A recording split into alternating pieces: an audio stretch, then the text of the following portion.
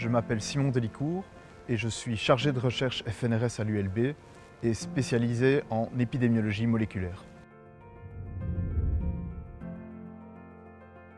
Communiquer. Pour moi, c'est important de pouvoir communiquer avec le grand public et d'expliquer les enjeux de la situation ainsi que d'écrire la situation épidémiologique analyser et analyser les données le plus vite possible.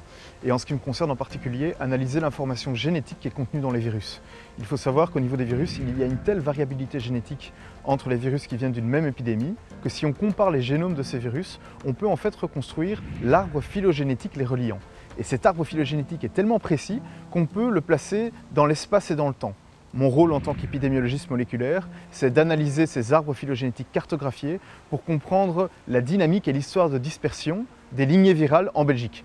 On a par exemple pu démontrer qu'il y avait eu énormément d'événements d'introduction indépendants au niveau du pays, mais aussi que le confinement avait eu un impact sur la vitesse de dispersion des lignées virales.